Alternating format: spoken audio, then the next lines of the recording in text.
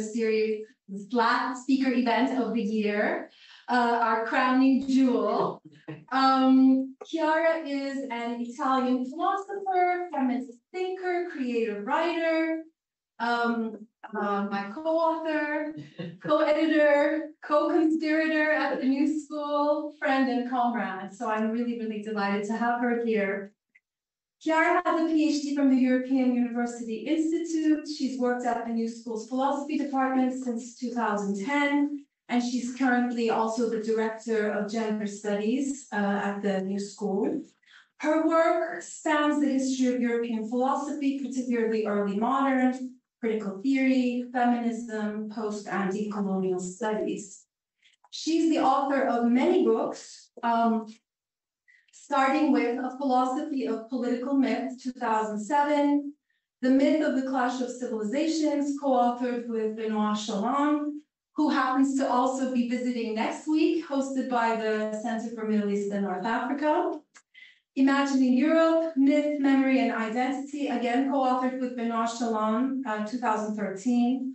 Um, Imaginal Politics, Images Beyond the Imagination and Beyond the Imaginary, 2014, and A Feminist Mythology, uh, 2021, and Anarcha-Feminism, also 2021.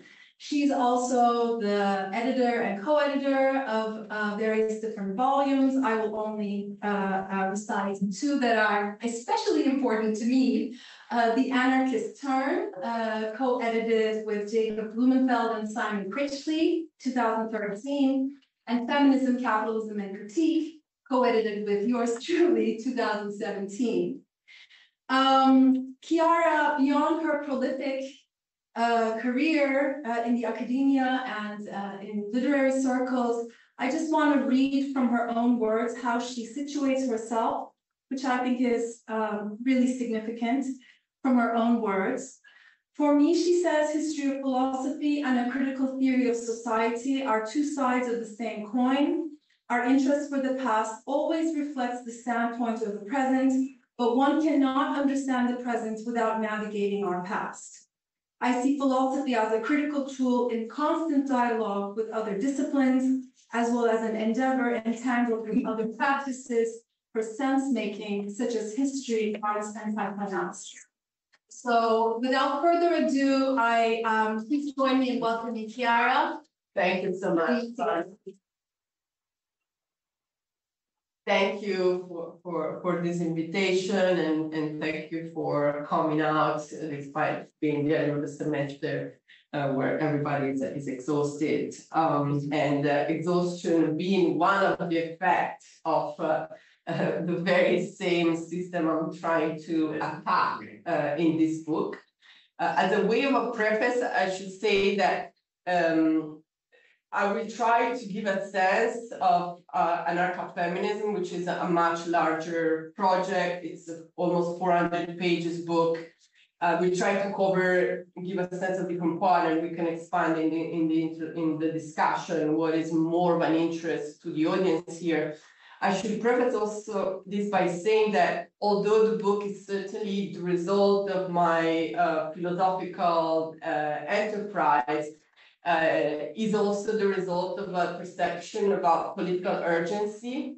And the political urgency is determined by the fact that uh, whereas in the feminist movement, there's so many divisions between different types of feminism, um, and those who are the, the new um, neo-authoritarian macho uh, rights that is now proliferating globally knows very well how trans rights, um, feminism, uh, attacks on uh, um, the environment, um, anti-racism, how we're all on the same boat, right? So the politically, the book tries to build um, solidarities that recognize differences between different struggles while at the same time setting up um, possible bridges uh, between them. So this is the sense of uh, the political sense of the book. Uh, I, I, begin with the end of the book um, with these two concepts that I, I, put forward uh, towards the end of the book in order to distinguish what were traditionally conceived as form of patriarchy. Remember here, patriarchy literally means uh, the ar- of the patriarch, so the single male head of the family, and what I call new uh, global menocracy. Why did I come up with this new term, uh, menocracy? Uh, because uh, whereas patriarchy means the of the male head of the family, the patriarch, by menocracy, I mean the fact that male privilege resists and takes even new form, even in contexts where patriarchy is questioned and is declining. We have seen, we have assisted to the rise of, uh, uh, even in contexts where uh, the model is a multi-income uh, household, so men are no longer the single breadwinner, even in contexts where there have been uh, um, a, questioning of the heteronormative matrix, so there are same-sex marriages, um, that are proliferating. Even in those contexts, there's a, not only a persistence of uh, all forms of uh, male privilege, but a resignification of that. Uh, so menocracy can thrive even where uh, patriarchy is, is declining. So in this sense, we can say that these men are no longer the uncontested patriarch of the household, but they're still what I call the first sex. Hmm. So why the first sex? Because in comparison to them, not only women, but also two-spirit people, third gender, LGBTQ plus people are all second sexes, so to speak. And I use the notion of second sexes expanding on, uh, obviously, on Simone de Beauvoir, uh, famous definition of it. So on one hand, we see the persistence of male privilege in the old form, but on the other, we assist the two new reactive formations uh, that are um, neo-authoritarian macho form of uh, uh, right-wing politics that are, in my view, must be read as an attempt uh, to combat feminist con um, questioning. Right? So the more the feminist movement worldwide is stronger, the more we assist to the proliferation of this reactive formation that at times take almost caric caricatural forms, like Trump, uh, Salvini, Bolsonaro, like almost a caricature of the old patriarchs, uh, so to speak. And for me, that's because they are reactive formation. So why anarcha-feminism in this context? What I will try to say and map out in this uh, time that I have is why anarcha-feminism could has been for me a response to this political situation. Um, why what I call the philosophy of trans individuality is the best uh, philosophical underpinning for such a project, uh, and why this uh, uh philosophy of, of transindividuality and anarcha-feminism can lead uh, towards a questioning of different forms of ontological hierarchies and what I get in the book I call a form of uh, queer uh, ecology. Okay, so where to start from? Um, I was to start from rethinking the very notion of uh, uh, reproduction. I mean, obviously, feminist work has been doing uh, a very important work on uh, disentangling the very notion of reproduction, beginning with the very division between production and reproduction. I'm not going to expand here on a, a very well-known uh, socialist feminist critique of, of the distinction, just mention the way in which um, production uh, relied on exploitation of wage labor, whereas reproduction relied on the uh, what Maria Mies calls super exploitation of uh, uh unpaid uh, labor. But in comparison to socialist feminists of the past, what I felt was missing and not so central is the need to rethink reproduction in conjunction with um, this three new strands of feminist theorizing that in my view also open to new questions. So first of all, the fact that the reproduction of life also happens through uh, um, and racial regimes of reproduction of population, by basically distributing chances of life and death across the planet, very often along racial lines, populations themselves are produced and reproduced. Secondly, the need to think of reproduction by disentangling reproduction from sex, not only because of the questioning of the hetero and cis normative matrix, but also because of uh, the way in which new bioengineer have de facto changed um, uh, reproduction itself. And third, um, to include within the rethinking of reproduction in, in socialist um, uh, feminism, to include more systematically the reproductive capacity of the more than human. I mean, this is something that in classical uh, Marxist feminism is clearly not central. I think the paradigm was still heavily influenced by humanism. Um, and what I'm trying to do in this project is also to rethink um, speciesism and, and, the idea that um, uh, there are uh, the, the, the, distinction between production and reproduction can lead to the exclusion of the way in which plants, animals, and the more than human in general also contributes to the production and, and reproduction of life. Okay, so why anarcho-feminism as, as the framework for these three uh, lines of inquiry because um, what I mean by anarcho-feminism is that you cannot fight sexism without fighting all other forms of oppression, beginning with uh, uh, racism and imperialism, capitalist exploitation, cis and heteronormativity, and uh, uh, anthropocentrism. Um, this may sound like a new idea, but it's been one of the central points of anarcho-feminists of the past, precisely to argue that you cannot fight one form of domination uh, without fighting all the others. This may seem like a tension, the idea that there's something specific in uh, menocracy, there's something specific in the oppression of the second sexes, but that in order to fight this, you have to fight all other forms of domination, may appear as a tension, but I hope that by the end of this talk, it will be clear that it's not a tension, but actually a vital um, connection.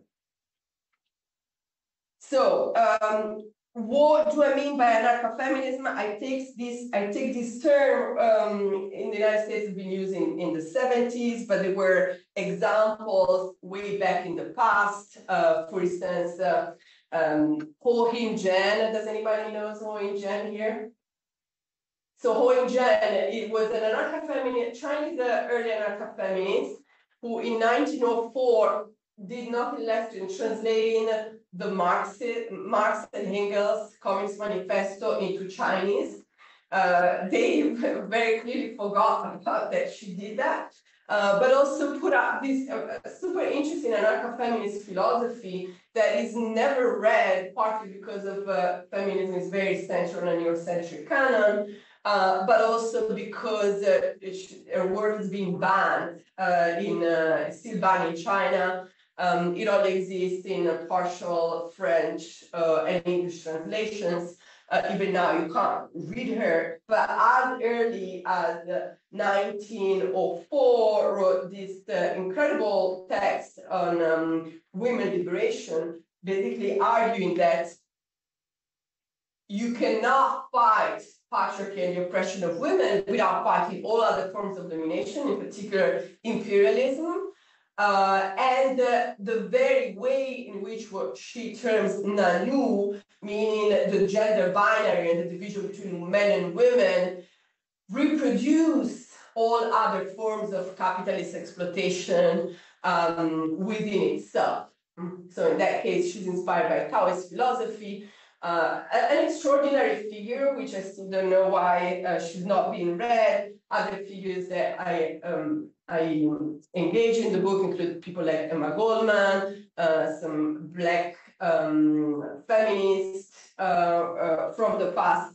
But what I want to say is that for me, anarcho-feminism is not so much of a tradition, so it's not so much of a canon. I began the book trying to find the anarcho-feminist canon, and the more I search for it, the more I realize that there's actually a contradiction in trying to pin down this uh, philosophy into a definite canon, because most of the people who are actually interested in doing this work, connecting um, sexism, the fight against sexism, with a critique of all other forms of domination, they're not usually particularly interested in constructing canons um, or even traditions. So the more I search for the canon, the more I realize that that was actually not the point of the book. So the book itself transformed me uh, in the very process um, of, uh, of making. So one can at this point argue, okay, but why call it anarcho-feminism and not just anarchism? Anarchism has traditionally been a critique uh, of the anarchist tradition I'm engaging with, European one, a critique of capitalist exploitation. They put forward the idea you can't criticize capitalist exploitation without criticizing the state and all other forms of domination. Well, we tried that way and we saw what happened. What happened in in uh, European most of the time in European uh, um, anarchism is that sexism became a secondary issue, something that was perceived as to be addressed later on. Once we have abolished the state, abolished capitalism, then we will handle with sexism. And I think that even with, although even within the anarchist tradition, uh, sexism has proliferated uh, because it has never, I mean, it has rarely been put at the level of other forms of uh, uh oppression uh, and domination. So that's why I insisted in calling the book not just anarcho-feminism, a combination of uh, anarchism and feminism, but anarcho-feminism with the need to um, feminize, feminize the concept so as to make it more visible um, that um, I don't want feminism to get out of the picture. But obviously, the form of feminism that I'm interested in uh, is not just feminism as a fight for equality with uh, bourgeois uh, white men. I mean, feminism here means much more broadly um, a struggle against sexist oppression um, so sexist oppression that concern not just women, but sexist oppression that concerns in the first place all the second sexes, but also men themselves, because I think patriarchy is not good for men either, and I'll say more about this uh, towards uh, the end of the talk. So why not just feminism? Because feminism, we have seen, is conceptually compatible with domination. Uh, even the very term feminism, uh, particularly in this country, is often uh, connected with uh, the history of the different feminist waves. The, the idea, who's familiar with the feminist waves? Everybody is. Okay, so the idea that first there was a first wave feminism, second wave feminism. Now, first wave feminism means the suffragette movement. So a bunch of white propertied um, people mainly of European origins, so settlers, who started to fight for the equality with men, right? When Emma Goldman, who was an anarcho-feminist, was engaging with this form of feminism, said, well, if that's feminism, I'm not interested in being a feminist. That's just a sharing of privilege between uh, privileged people. Similarly, Native American women, like, well, uh, we actually lost our, for instance, Cherokee um, tribes that were gynocratic. I mean, Cherokee women had their own women's council. So, like, well, for us, feminism began in 1492 when, uh, uh, because of uh, the settler importing patriarchal values, we have lost our own uh, uh, gynocratic traditions, right? So for them, these uh, for waves that supposedly began with uh, um, the suffragette movement is just a reproduction of the settler colonial narrative, according to which everything happened first uh, in Europe and then was exported uh, in the Americas.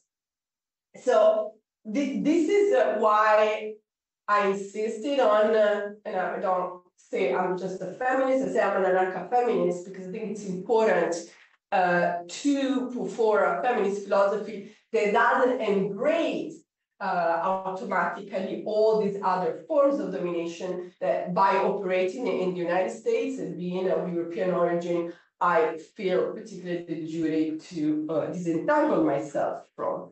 Um, the epistemology that I adopt in the book is uh, what which under Talpade Mohanty we can call a bottom-up epistemology, so epistemology from the margin, uh, taking the position of those who are in the margins, not simply of the United States, but globally speaking, um, and that can see how the different effects of uh, mechanism of domination within a um, uh, global um, capitalist system uh, distributes across the globe possibilities of uh, life uh, and death.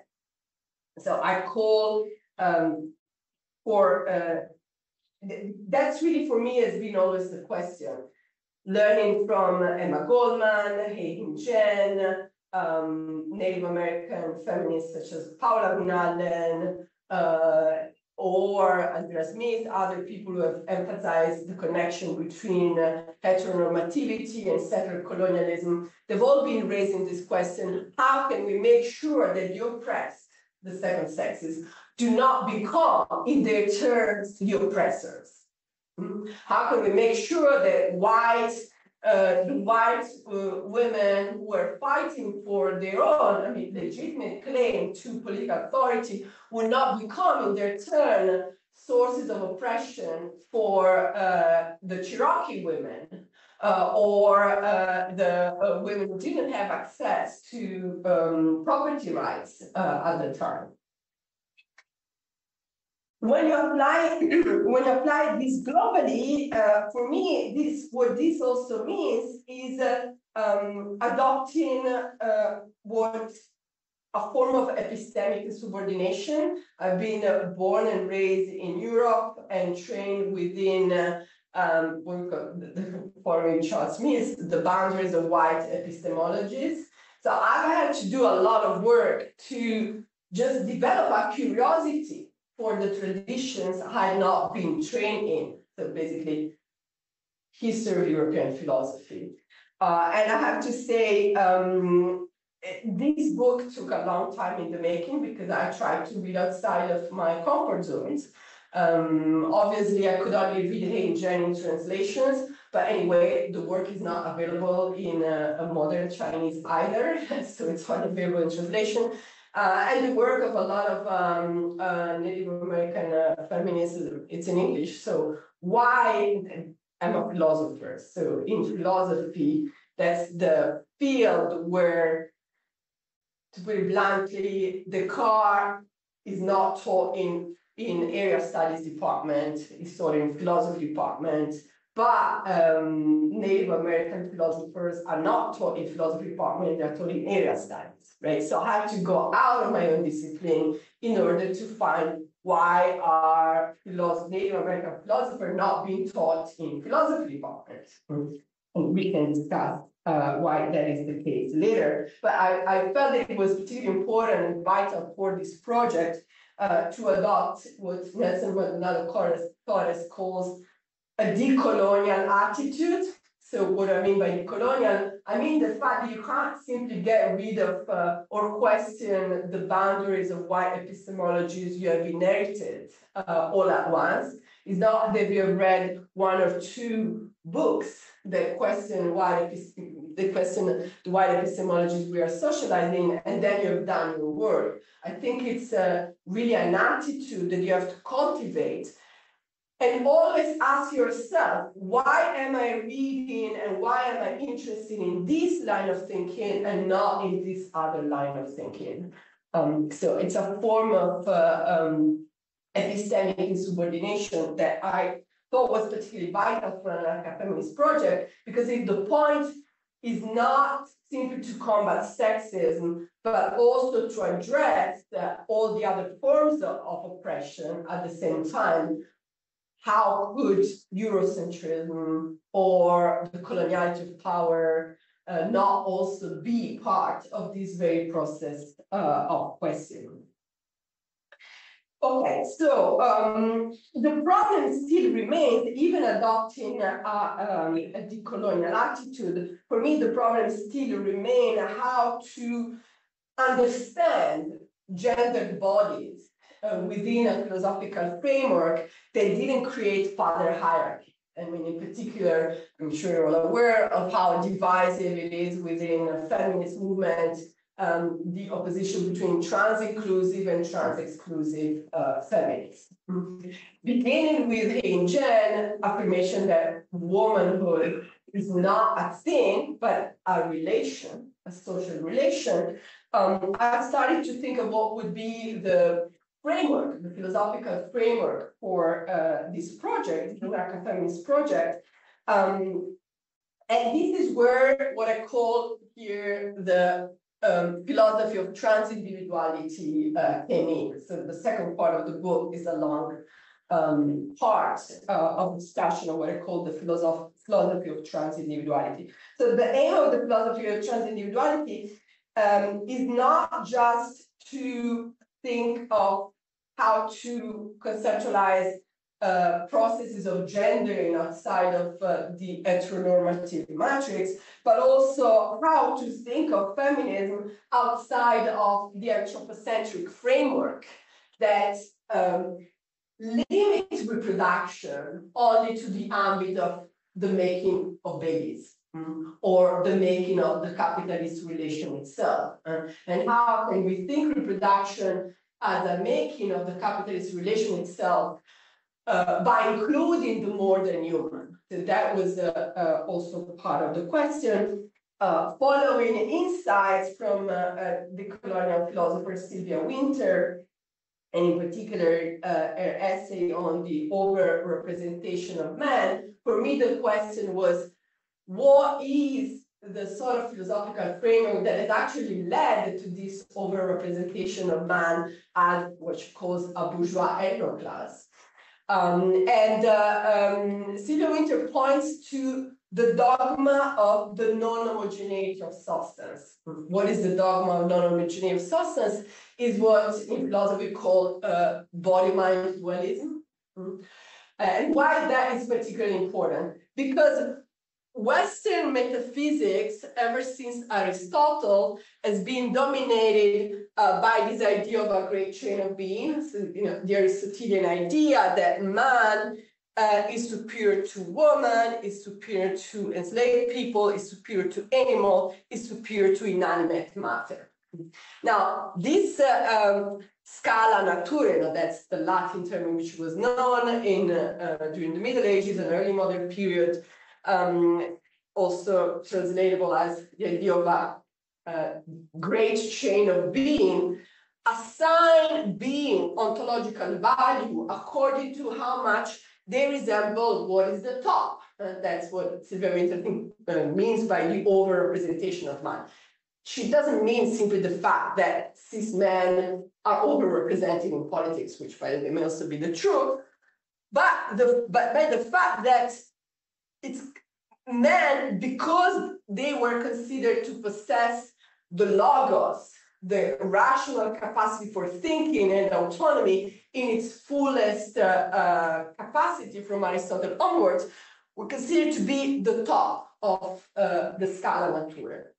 And you can see here how the Scala Naturae is actually predicated on uh, the possession of what we can call the mind, or in other terms, the mind or the soul or uh, call it whatever you want, that with from or the logos that from man was progressively extended to woman and then to enslaved people. Uh, but still, there's questioning as to whether it's uh, uh, possessed also by animals and animate matter, right? So there is this mind-body dualism that actually underpins this ontological hierarchy. And this is what Sylvia Wynter means by the dogma of the non-homogeneity of substance. So what did I do with the philosophy of transindividuality? So it's a philosophy that I, I developed by engaging with uh, um, Spinoza's uh, philosophy on one hand, but also feminist materialism, uh, like your very own uh, Karen Barad um, and other um, materialist feminists uh, in the second part of the book. And that enables me to question two things. First of all, the, this uh, uh, idea of an ontological hierarchy predicated on the body-mind dualism, and secondly, the idea of the underlying methodological individualism. That's uh, the more philosophical part of the book. So what is um, methodological individualism? Is the idea that being is in the first place already individuated being. And most of uh, Western metaphysics is, uses logic, right? And uses the idea that whenever you say a chair or uh, Massimiliano Tomba, you're talking about an individual, right? What the philosophy of transindividuality does is to question that individual being is the starting point of philosophizing. And to summarize a, a very complex uh, philosophical move, move, it basically argues that there's not such a thing as individuals. We've never been individuals. Um, first of all, we are not objects or substances, but we are processes. Everybody is a process. So the relation comes before. Hmm? Um, the two move, we are processes and the relations comes, comes before the relator. So the relations comes before the objects uh, themselves. How? What does it mean this in particular and uh, when applied to single individual beings like this bottle of water or Massimiliano Tomba in, in particular. Okay, it means that instead of looking at individuals as discrete beings that are really given, you look at them as processes. So philosophy becomes ontogenesis, becomes an analysis of the way in which we individualize. Hmm? So the question is not so much what do we are as individuals, but how do we individualize? And the answer of uh, uh, that the answer is to say that we individualize through process of becoming that imply the inter-individual level, so the interaction between two bodies, but also the supra-individual level, how uh, the networks that are uh, global, uh, at least if not even cosmic, impact our own individualizing, but also the infra-individual level. Okay, think of the food we eat, the air we breathe. I mean, the uh, bacteria that inhabit our body, or the hormones, the molecules that some people may take to transition. Hmm? I use for this philosophy of transindividuality Etienne Balibar interpretation of Spinoza. Balibar, uh, mainly focus on Spinoza, Balibar extend this philosophy of transindividuality to Marx and Freud. But I should also say that, um, for instance, there's a, a very interesting um, um, Native American philosopher, um, V.F. Cordova, who um, was the first uh, uh, Native American woman acquired a PhD in this country, in this country in philosophy. Uh, and she wrote a brilliant dissertation on uh, comparing Spinoza's monist philosophy of transindividuality with uh, uh, Navajo metaphysics, arguing that in Native American thinking you find exactly the same uh, philosophy of transindividuality, meaning you find the same two ideas combined, that beings are not individuated beings, but processes, and that the relations comes before uh, the object itself.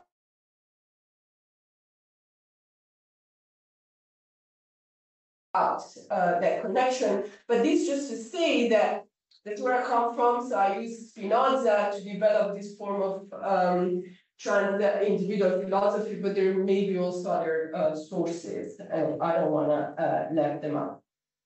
Okay, so what is the consequence of this move uh from uh, um uh individuality to trans individuality?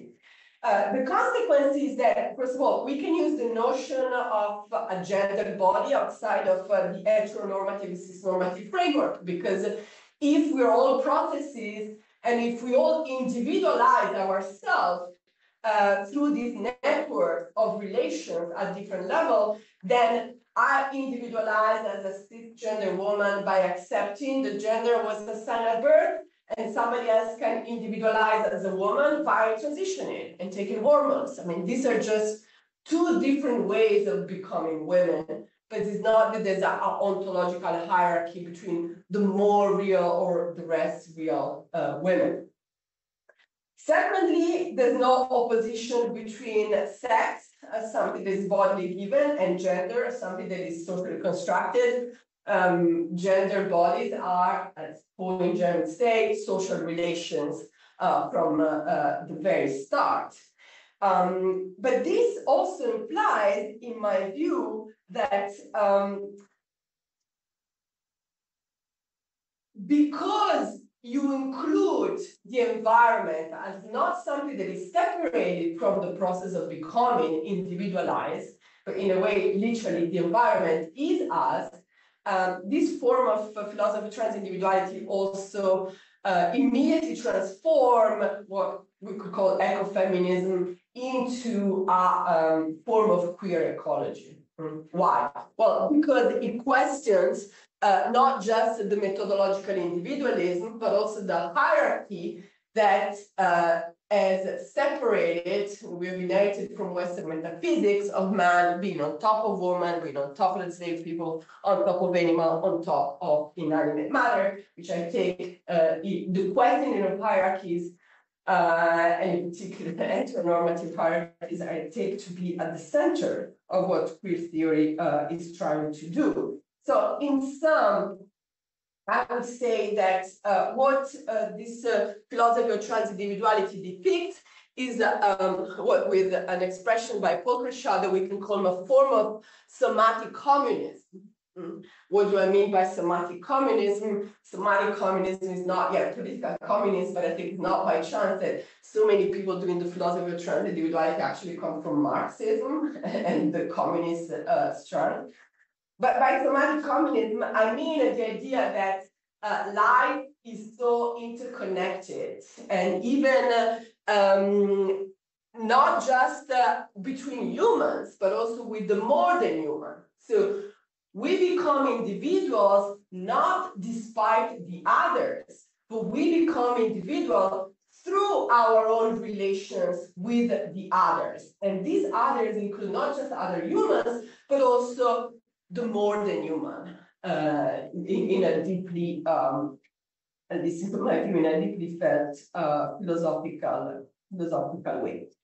And we can go here full circle and then back to anarcha-feminism. So how is this connected with anarcha-feminism? You will remember from the beginning, what is anarcha-feminism? Is the idea that you cannot fight one form of domination without fighting all the others. That's what I said it may appear as a contradiction to say that there's something specific in sexism and that you cannot fight sexism without fighting all the other forms of domination. Here we have an ontological explanation of why that is the case, because there is not such a thing as an individuality which is not at the very same time a form of trans individuality, meaning a process of individualizing as a single being that is intimately connected uh, with the web of life uh, around it.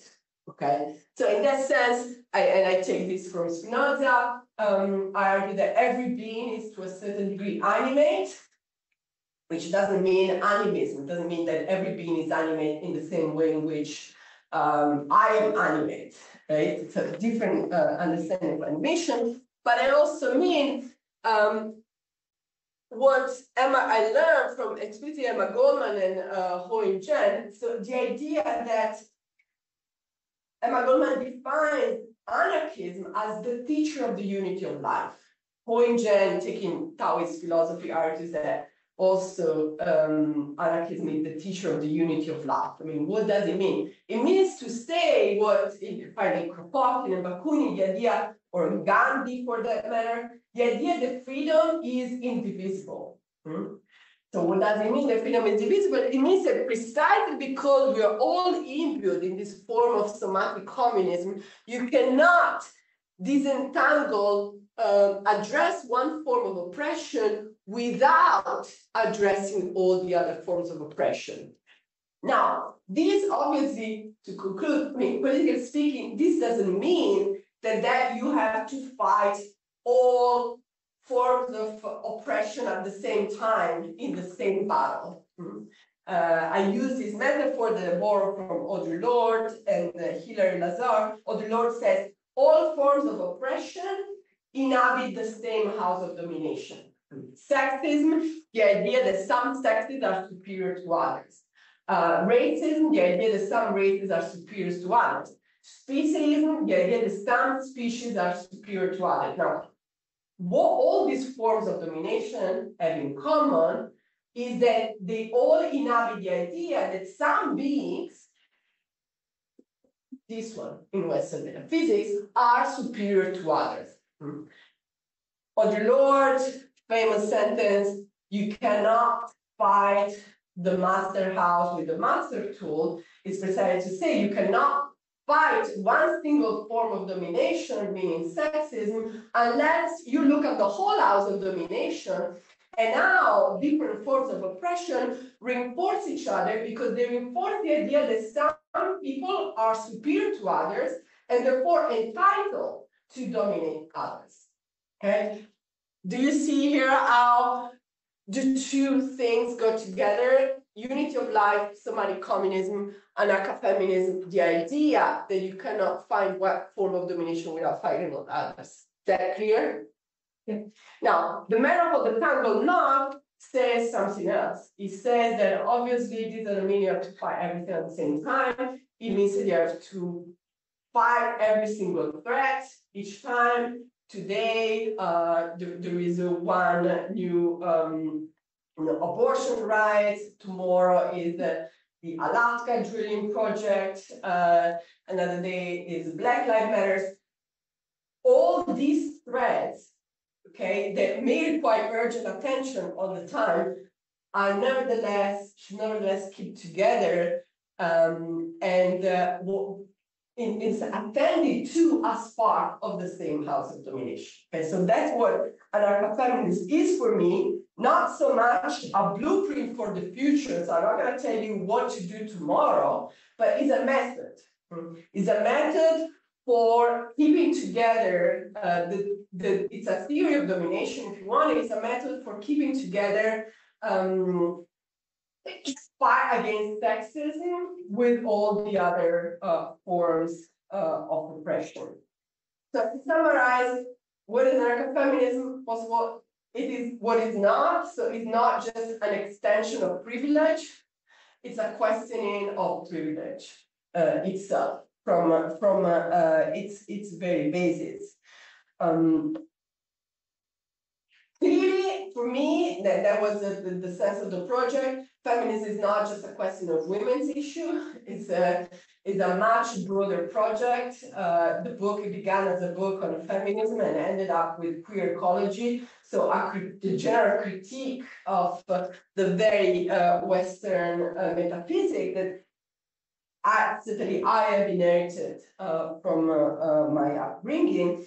But I also think it's it's important to point to this fact because um, so if we look at the history of um, the labor movement, um, I'm more familiar with the European history, but I'm sure it can be argued the same in general. The reason why workers um, gain what they gained in terms of workers' rights, uh, the eight hours a day uh, labor day, uh, little pieces of socialism in Europe here a bit less, uh, was because not all, but a a good amount of capitalists sided with the proletariats. For me, the problem of the feminist revolution is that not enough men, not enough cisgender men sided with feminism. And I see this all the time. Um, does not being to sum up, does not be the Karl Marx of feminism. Why do you say, well, why why do you want Karl Marx of feminism? Well, I personally don't know a single man uh, philosopher was devoted an entire philosophical project to rethinking feminism, or who have made of the feminist cause the fundamental uh, um, aim of their uh, philosophical project. Uh, and I think that's why there have been uh, advances in the critical patriarchy, but a persistence of monocracy and even a backlash, a monocratic uh, backlash.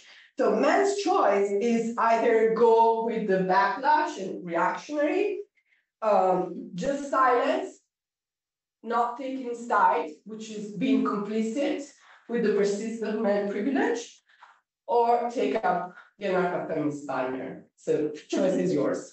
Thank you for this.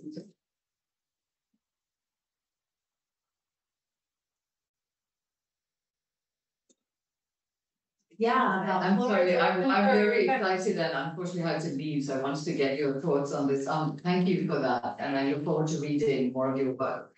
Um, I was intrigued by two things, and perhaps you, you said them and I didn't quite hear what you meant, is one is I was curious to learn a little bit more about what theory of the state you're working with, and I'm, I work, I'm, I'm in feminist studies department, I work in the global south, and Anarcho-feminism, happens in anarcho-feminism in the seventies and eighties in South Asia, the failure of the state is what made anarcho-feminism a really viable project for the left. So I was interested in what, and it wasn't the theory of the state. Yeah. Vis-a-vis Marx, it was the theory of the state that was social contract, divine theory. So I was very interested in what, what theory of the state, not a solitary one, but what kind of, to use Emma Goldman, intuitive, um, sort of, uh, theory of the state you were working Yeah. with. And then the second question, if I may, is connected to the first, is I wanted to understand in this tangled knot of domination that you're, I think, calling us to think with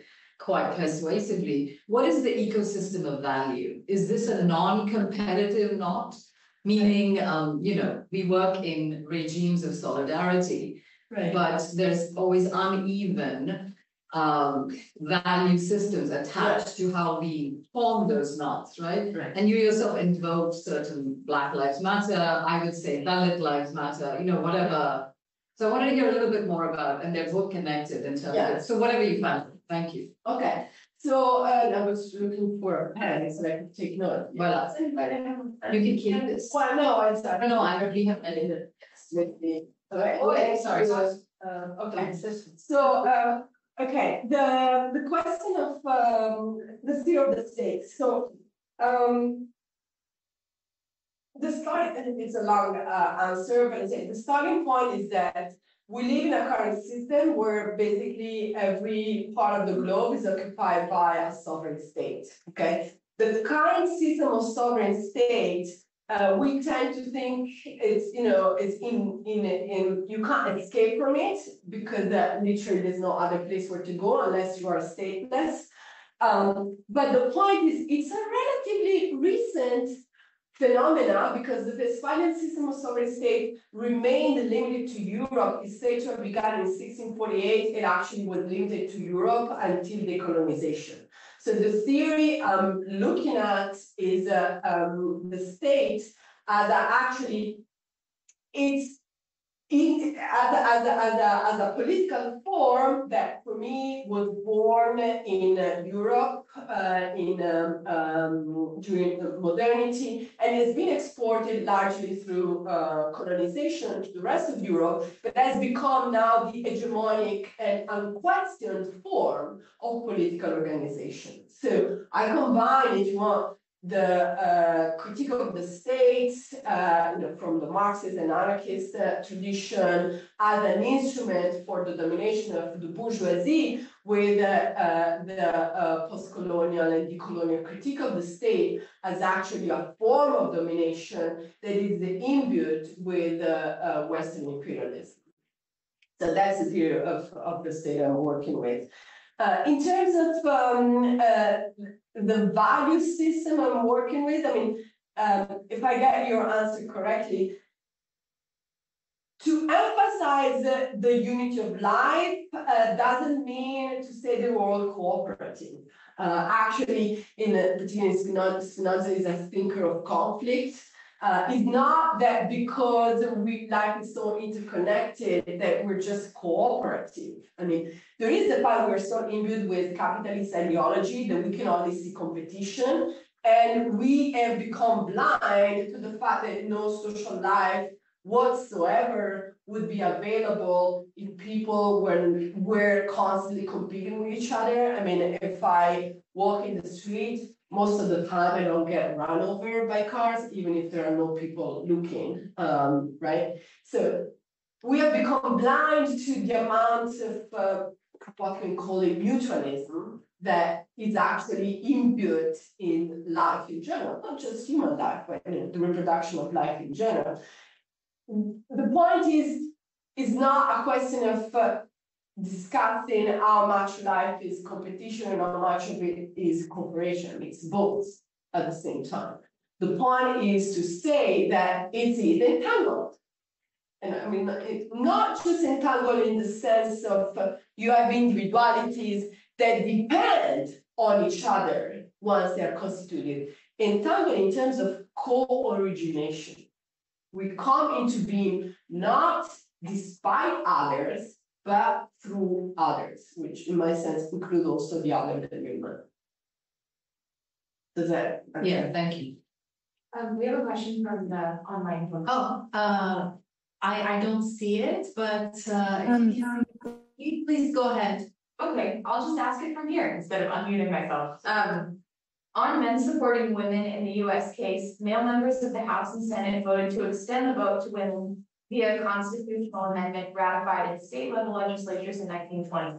Are there other examples of men supporting women that come to mind or matter to you? Uh, well, I mean, there are a lot of exceptions. it's not the rule. I mean, I still, uh, for me, like uh, in New York City, right after uh, the abolition of uh, the Roe uh, versus Wade regimes, so you know, study abortion rights, which we all thought, okay, you know, we that happened in 1970s. We're not going to go back to that. Uh, there were so many people in, in the squares, but they were all second sexes.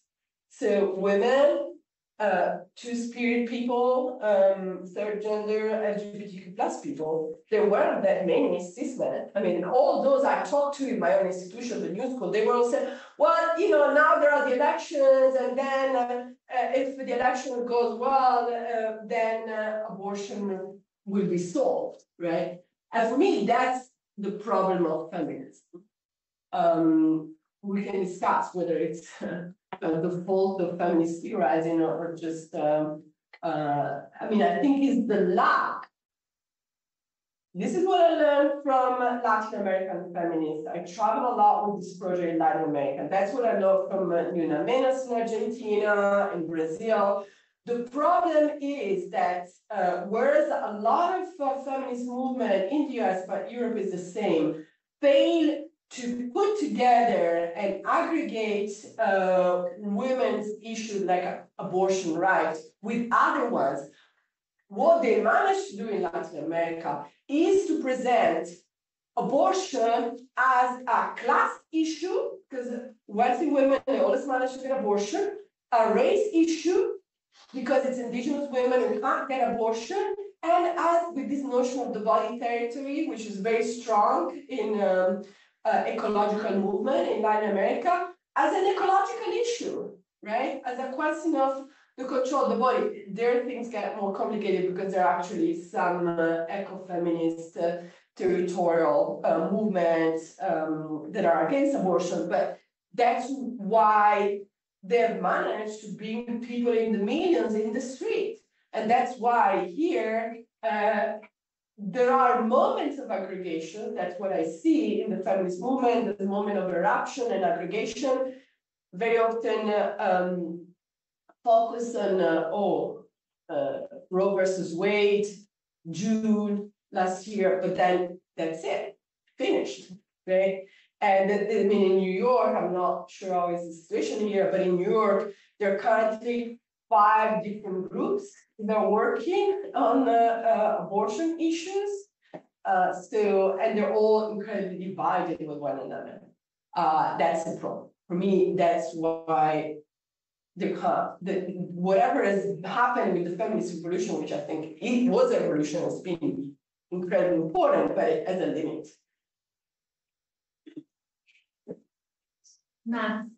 And then Pastor, and then Keith, okay, I'll, I'll keep on. Okay, after the state. Um, Oh, sorry. so. So what about, what about property is the question, so what is this thing you address in your book, I haven't read it yet. Um, and I'm thinking, you know, one can say that, uh, this binary mind and body can also be. Can also be thought in terms of a. Will think. Mm, And uh, and uh, and it's the the dualism, the tension between individual will and the thing that you can applicate. Then what is even more interesting is that if you go, if you go back in history, this is a kind of a dualism that was uh, generated in the debate on poverty.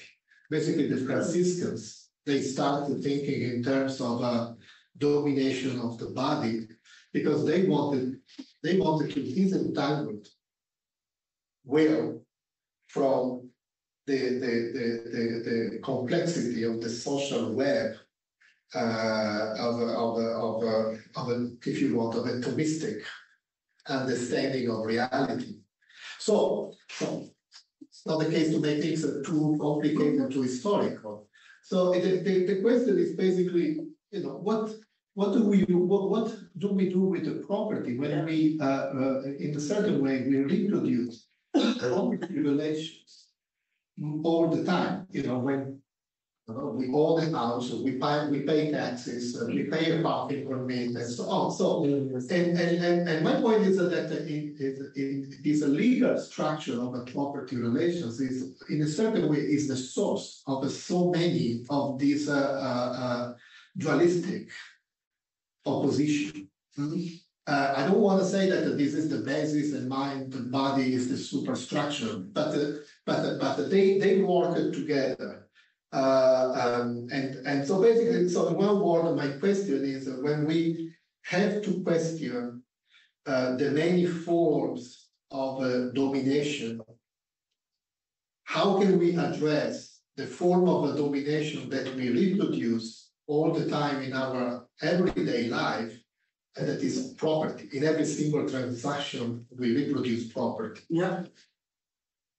Yeah, it's a great question. Uh, I don't have a full answer because uh, I can't do everything, but uh, this is certainly something that um, I'd like to explore more. So I'm intrigued by your connecting property to the body mind dualism. That's not some work that I've done, and if you have further suggestions for reading, I'd be happy to uh, continue that line of thinking. The line of thinking I pursue in the book is the connection between uh, individual property and uh, the state sovereignty as colonial property, right? So the institute of private, the connection obviously between the institution of private property and uh, uh, the reproduction, not simply of the capitalist distinction between production and reproduction, but the reproduction of uh, the capitalist relation itself, which is so entrenched in the notion of property.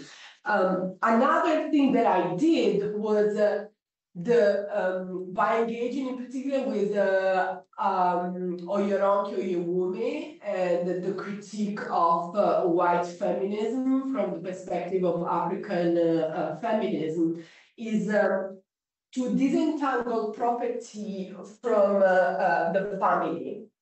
Now, what, what is the Oyeronke uh, argument? Oyeronke argument is that in the uh, mononuclear bourgeois family, which is strictly connected with the emergence of private property as the uh, default mode of organization of society, as the nucleus of society, you can separate gender from race and class because usually in uh, in the European mononuclear family, um, race and class are not evidently split.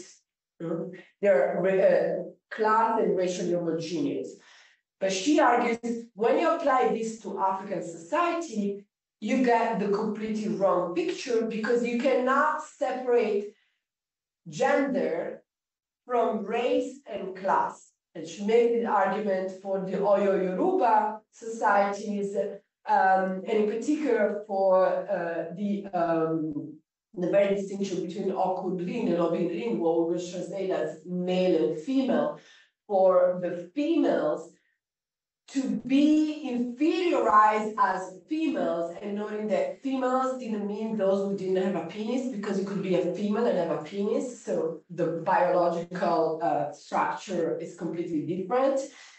For them colonization meant at the same time being inferiorized as female because they were excluded from the circuit of wage labor, which was largely reserved to men who worked within uh, um, the wage labor system. So since women were mainly in charge of uh, um, the um, care of the household and attending uh, uh, the needs of uh, uh, the reproduction of the family, but excluded from the wage labor circuit, for them, gender and class exploitation and racial exploitation, because they were also perceived as uh, the uh, indigenous versus the elite of uh, the white women, for them, you can't separate gender, race, and class. They're all one and the same thing. And so she comes up with this idea that is also then later reinforced by um, Maria Lugones' theory of the coloniality of gender, that the gender binaries, the way in which Western feminism think about feminism as a question linked to the family is highly misleading because it works with this binary men women and questioning the binary, but it's actually a fourfold at least uh, hierarchy because you have um, white uh, colonizers, um, males, uh, white um, females, and then you have uh, the colonized man, and at the very bottom, the colonized females. Um, and their argument is to say that the problem with white feminism is that it brings with it the institute of private property each time it um, conceptualizes the family. So it understands the family in terms of the family household and its private property. And that simply doesn't work for Africa, where marriages are not about gender. They're about clan uh, and they're just structured uh, in a different way. So just one question. I have done that work on the body mind dualism, the book mainly for active property in terms of uh, the connection between private property, the capitalist mode of production, uh, the sovereign state system and colonialism. Not the whole work, but a lot, if I can say. Oh, yeah, very good- good question. Um, what can you say more about this different difference between patriarchy and menocracy? And uh, like the need to come up with this new concept, like what concrete reality is this new concept trying to explain or address? Well, it's mainly trying to explain why, even in context where patriarchy is questioned, where, where men are no longer the patriarchs, the single head of the family, why is male privilege continuing? I mean, continuing the male privilege is pretty evident if you look at it globally. Um, there's something like 126 million missing girls from the global population. I mean, just as a consequence of sex selective abortion, inequalities of care, um, 126 missing girls. That's the numbers of gender violence. And some people say it's not 126, it's 120, others say it's 140. But I mean, these are the numbers. I mean, gender violence attacks mainly women and gender non-conforming people. That's a fact. So that for me is a form of continu, i- i- included in places where patriarchy is questioned, okay? So for me, the question is, if we remain attached to the notion of patriarchy, we become blind to this persistence of male privilege. Gender violence, gender pay gap. I mean, women are routinely and paid sixty-three percent of what men are paid for the same job. How do we wanna conceptualize this? It's not just patriarchy because uh, um, women often actually run the whole family because they do both care work and uh, wage um, productive work. And they often uh, do have a power, the power that comes with that, but there's still this pay gap, right? Uh, I mean, these are just examples of the continuation of male privilege. Here is the point, there are contexts where I think one can rightly speak about neo-patriarchy. For instance, I'm not an expert of Saudi Arabia, but in the case of Saudi Arabia, there's a number of studies that talk about neo-patriarchy uh, because the figure of the patriarch is still very uh, powerful um, because of the system of women tutelage. So it's uh, the man, either the father or a male uh, in the family, the brother, who has to authorize women to work, to travel, to make marriage arrangement, and so on and so forth. That for me is a clear case of neo-patriarchy or patriarchy poor. How do we define other forms of continuation of male privilege, even in contexts where there's a formal equality of rights? I don't like menocracy is fine, just give me another turn. but I think uh, um. We we need other concepts, because otherwise uh, we're stuck in uh, uh, in the fact that we're not, I mean, concept, I'm a nominalist concept are useful to make visible um. Certain reality, and for me, what this notion of menocracy did was to make this this reality. I have to say, this book came out in uh, two thousand twenty-two, at the you know, end of two thousand twenty-one, it was translated in uh, three, four languages. And uh, this notion of uh, menocracy and the second sexes is one of the notions that I think attracted most attention. Now, in it didn't happen with any of my book that they got translated in so many languages so quickly. And I think it's because this book is the result of desperation. Think I'm not the only desperate outside there. I mean, I think there's a, a widespread sense of being stuck there in this position where there's an alleged, I mean, I don't live in Saudi Arabia, otherwise I would be saying, okay, there's just no formal equality of rights, but there is an alleged equality, always incomplete because the law is always incomplete in that sense, but there's an alleged formal equality and we're still far from experiencing it. So how do we conceptualize? Thank you. Key, I'm gonna put you on queue. Okay, go ahead. Thanks, um, yeah, so my, my question is, um, what happens to the, the subject in all of this? I, I know this, this might seem like a terminological question, but. Uh, and I think there's some really good reasons for avoiding the subject altogether. Um, and maybe this is part of the move away from the Eurocentrism. Uh, but I'm just wondering what the, the political and philosophical stakes are of, of going towards, you know, trans individuality rather than something like intersubjectivity. And I, and I realize that, uh, there are specific intellectual genealogies here, like you're, you're going to Balibar back to Spinoza rather than going to like phenomenology or something like that, but, um, I just, I wonder uh, if the subject or something like the subject, and so maybe some non-monism. Or like in technical terms, like a decision or something is. In some sense necessary in order to um make this unity of life or relationality amenable to critique. and praxis. Right. Uh, I know this is an old question, but I, I, just, I.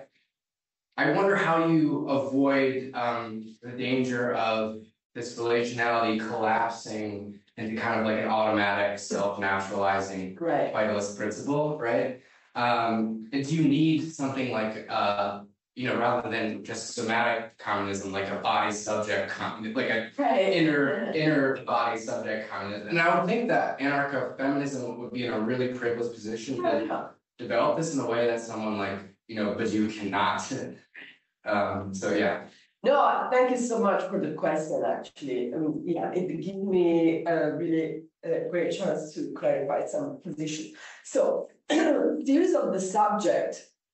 I mean, they are um, the confront tradition that is very humanist and uh, anthropocentric, and there's nothing wrong with that in principle.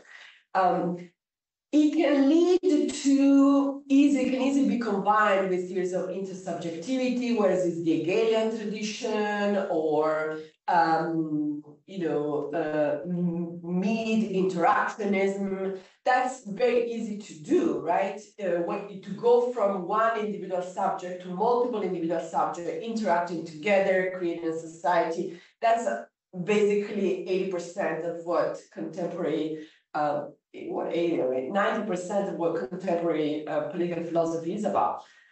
The point is, in all these, although there's a connection between um, philosophy of uh, transindividuality and theories of intersubjectivity, most theories of intersubjectivity are inter-subjects, right? They don't look at what happens infra-subjects. They don't look at what happens inside of the body. And that's what interests me because that's what connects us to the air we breathe and therefore to the global ecosystem, right? When uh, um, when we say that we are the forest, I really mean we are the forest because in a way, the cycles of life connect us all We're all on the same boat. So for me, looking at what happens at the infra-individual body, the toxins that are deposited in our bodies, how certain countries are more prone to be saturated with toxic waste than others. And you can see how this is inseparable from uh, a biopolitical and racist regimes, right? You know, Italian uh, um, gets to dump their toxic waste in Lebanon. Why is that possible? You know, um, but for me, what is interesting is that those toxic waste that deposit in your guts literally connect you to global biopolitical regimes and to the cycle of life across the planet, right? So this is why I move away from inter-subjects, intersubjectivity toward the philosophy of transindividuality, which is not what a lot of queer theory has been doing. Uh, you know, the, for instance, Tim Morton idea of the mesh, which is like this cow where, um, you know, uh, Hegel would say the night where all cows equally look great. For me, the problem there is that that kind of uh, queer ecology is not only um, philosophically weak, you know, the night that where all cows equally look great, but it's also very problematic because this idea that we're all open and open forever, all part of the same mesh, it's a free pass on uh, those who can abuse queer people, right? We're not open forever. I'm not open forever. Um, what do I mean by this? I mean that what the notion of trans individuality does is not to say that we're not individuals. It's not to say that I'm not responsible for my action. It's only saying that as an individuality, I come into being through this trans individual network. Okay, so you can't separate my own individuality from the general somatic communism uh, that makes up the webs of life. But the advantage of uh, this theory of a trans individuality in comparison to other forms of uh, um, queer ecology is that it retains the notion of individuality. I mean, uh, not in the sense of the Western um, individualism, the, idea that we're separated atoms. Uh, but in a sense, that I believe is meaningful enough uh, to support, for instance, the idea of responsibility. Thanks. Kyle, your turn. No, thanks, thanks for that and for breaking down a lot of things that people don't usually break down. Um, I have so many questions, half of them will be from the Q and A so far. Um, and one thing, just in relation to your answer just now, what I wasn't getting is that um, you're interested in hanging on to the individual because of wanting to assign to the individual responsible agencies. Right.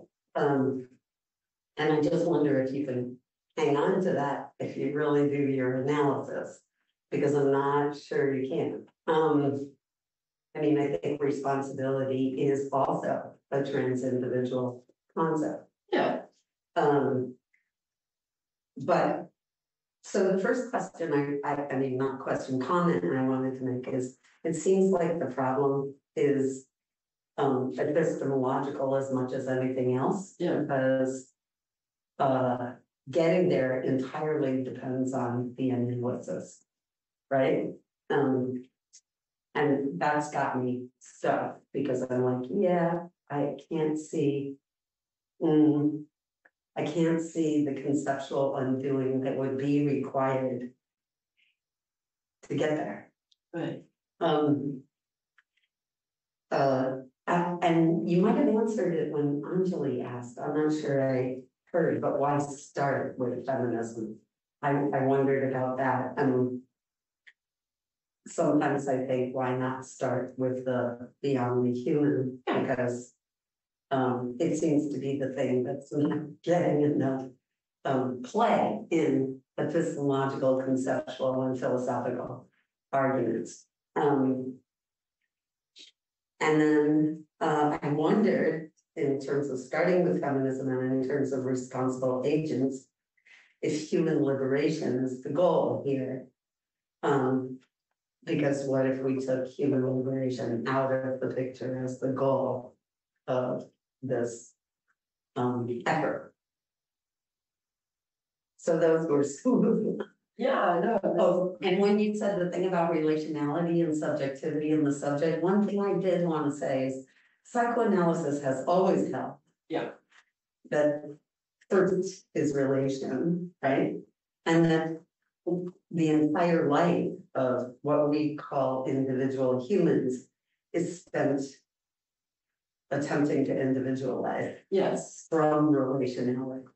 Um, and it's just sometimes a useful thing to remember, because subjectivity never finally comes into being, right? There's never a subject, it's always a process in some of the same ways you've been talking about. Yes, no, thank you so much uh for for your comment. I think we have so many interesting comments. Let me just begin with a a brief remark on psychoanalysis, which is you know one of the field I've been working with. I didn't get into the second part in here, it just wasn't space. I totally agree with you, and it's not by chance that whereas uh uh this notion about the unconscious being individual or collective, Lacan clearly said that your unconscious is trans individual. He said it in a footnote. Yeah. But I think being about the unconscious is very appropriate. I mean, all the, you know, footnote to the degree is this is say the unconscious is not an individual nor collective, it's trans individual. And uh, I take that as a hint um for saying that what I've been trying to argue, I mean, in this book through Spinoza and more ontological argument is the same thing that actually psychoanalysis has been saying. And that's what Etienne Balibar argues when he puts together um Spinoza, Marx, and Freud as thinkers of the trans individuality. Okay. Um, so why um why beginning with feminism, not just with the beyond the human? I mean, for me, it was even more powerful to argue that you cannot achieve human liberation without the liberation of the more than human. than to begin with the more than human and argue we need to liberate the more than human on its own term, right? Precisely because um, of, of the unity of life, I think it's absolutely central to emphasize that there's just one liberation. I mean, the motto of the, the book is that either all or none of us will be free. I mean all, you know, I really mean uh, all life form, um, all the planet. Uh, it will be free, or just not going to be free. I mean, none of us is probably even going to be. So for me, it was important to begin with this, and we could say, you know, why feminism? Uh, why are you not beginning with uh, racism?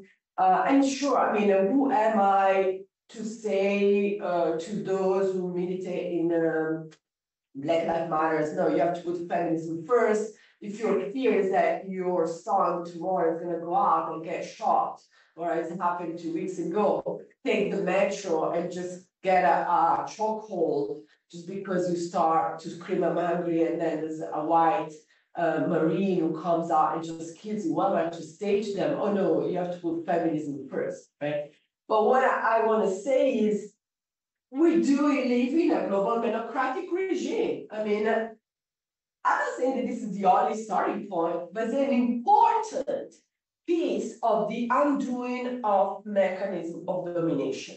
And it's a piece of the undoing of the mechanism of domination that gets under the carpet and that then almost never gets the full attention of men. Yeah. So that's why I'm insisting on fairness. Mhm. Uh, we can say the more than human is the same, I agree, but why not putting them together? Yeah. Um, so for me, that was really the sense of the project. Instead of doing, okay, we do ecology here and then we do feminism there, like, aren't? Aren't we in both cases? And I, I'm sure this is not the entire conceptual undoing, but like, if we undo this hierarchy here and the methodological individualism that presupposes it, I think we do a bit of undoing. Maybe it's not the whole undoing in terms of the conceptual work that is needed, but we do a big chunk of it. Um, so in that sense, yeah, totally agree. It's it's an epistemological question, much of the analysis uh, going on. Um, so the question of re- responsible agency, it is a trans-individual question. Yes, I agree. But because it is a trans-individual question, I, I take it as to be a method, right? So when you are analyzing issues of responsibility, you look not simply at the boundaries of a single individual body, right? But also how the body is socialized in social regimes that, you know, these three, at least these three here, uh, and how the individualizing within them leads to certain actions. Um, I don't see, I'm not ready to give up on the notion of responsibility just because it's very useful. And in a, very useful for, for social life to be able to say, well, I understand you are on the metro and there's a uh, white guy, uh, uh, you know, uh, there's a white guy sitting there. There's a, a black guy who's screaming on the New York City metro system that is hungry and you get scared. But the, and I understand that you are scared, but this doesn't justify you to killing me in a eight second uh, trouble. So you're still responsible even though clearly the racist regimes in which you've been uh, uh, socialized leads you to perceive a black guy more of a threat as if he had been a white guy screaming I'm angry.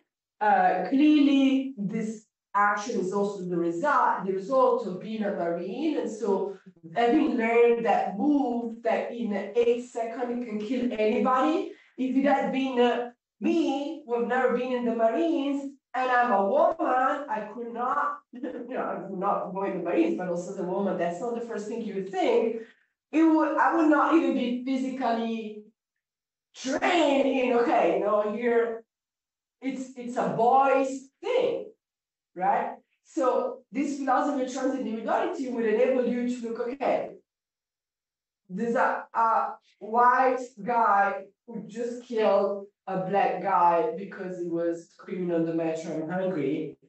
Can we say that he's not responsible for the action? Uh, it's responsible, but with in this trans individual philosophy framework, these are all the other things I would look at.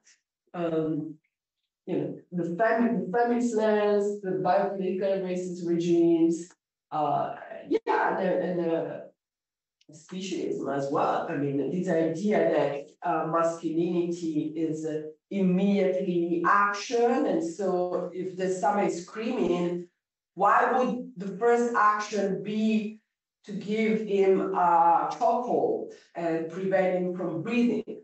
You know, can't you just try to talk or engage in some other ways? So on these things, but with your permission, I want to just insert myself here because I want to ask a follow-up question Right. and to play the devil's advocate a little bit. What is the liberation of more than human? I I I ask this because if you know you portrayed a very almost utopian construction where the liberation of one is tied to the liberation of all, and and the all includes not just the rest of humanity, but everything. And I mean, we just came out of a pandemic, right? Where clearly the liberation of the virus was in diametrically opposed terms to my liberty. So I find it really difficult to conceptualize a regime where everybody's liberation works together. Right. So like, can you elaborate? Because because like I'm thinking from within a system where given relations of domination among humans, the liberation of one does not uh, depend, I mean, the, the liberation of all does not depend on the liberation of one. To the contrary, they're usually in antagonistic terms. But I take a leap of faith and I can imagine a universal conception among humans. What I find difficult to do is to imagine human liberation in tandem with Yeah, the liberation of the more than human. that's why I was asking that question. Yeah, so like how does it, how do these all like work together? Yeah, so first of all, uh, in terms of the planet, like we are heading towards a critical threshold in terms of global warming, where, I mean, what I said is not, it's not just that either all or none of us will be free, it's like either all or none of us will actually be, because if we gotta breathe, we're just gonna be extinct as a species. So in this sense, for me, I'm not that that's what the point where human liberation really we're at a threshold where it can't be separated from the more than human because uh, of global warming. And I I take it to be um, that we are actually a threshold uh, in that sense. So that's one example. But if you project this, for instance, if you combine this with um, colonial critique, like what Native American would tell you is that this is why anxiety, because we actually have experienced the catastrophe and the apocalypse already with 1492, like with the destruction of uh, entire populations. But what also tell you is that the destruction of their own uh, um, populations went hand in hand with the destruction of the land, the connection with the land, the destruction of uh, uh, different uh, animal species, the destruction of plants, biodiversity. So from a specific experience that of uh, um, Native American critique of uh, the second colonial enterprise to what I can perceive now as the most general human experience, global warming, I don't see what we have to gain in separating human liberation from uh, the liberation of the more than human.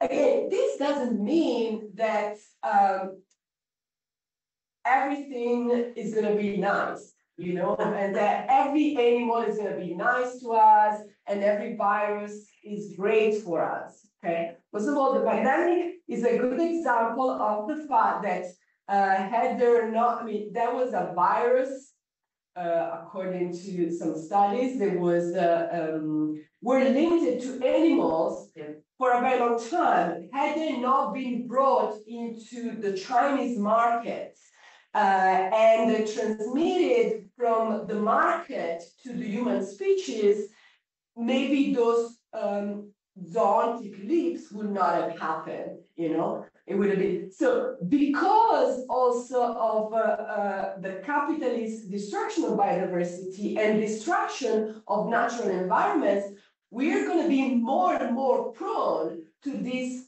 destructive form of interspecies um, vulnerability.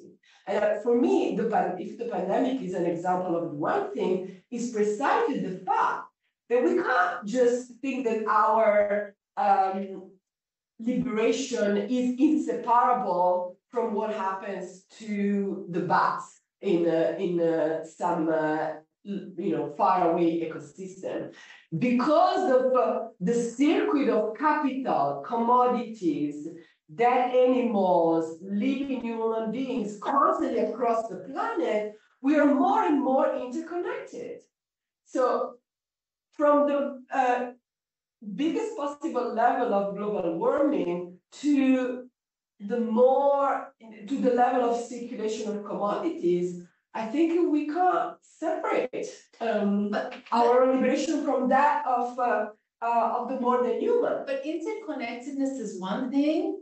Liberation, which is a normative category, is another thing. Like, like how do you negotiate the fact that you can be ontologically interrelated but the like liberation involves a vision. Uh, it's a it's a you know an emancipatory vision. Like how do you how do you interrelate those visions? How do you even begin to articulate the liberation of the virus?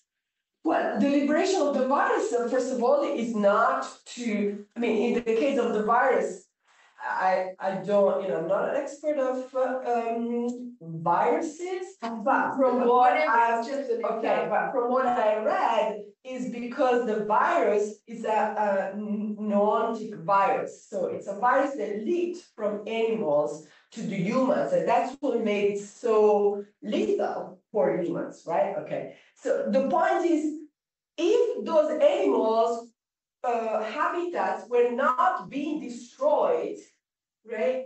They would not come to be as uh, um, uh, lethal on humans as well. Okay, so that's how.